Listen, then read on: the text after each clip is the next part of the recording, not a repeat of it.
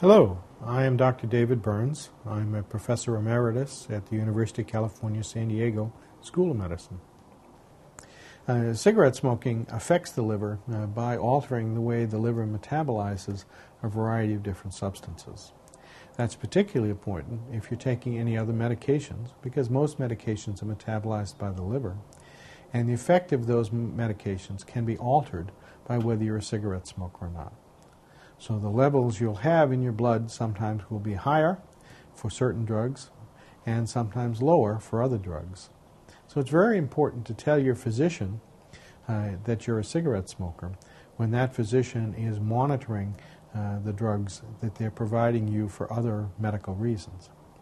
In addition, uh, there is some evidence that cigarette smoking may increase the risk of hepatocellular cancer.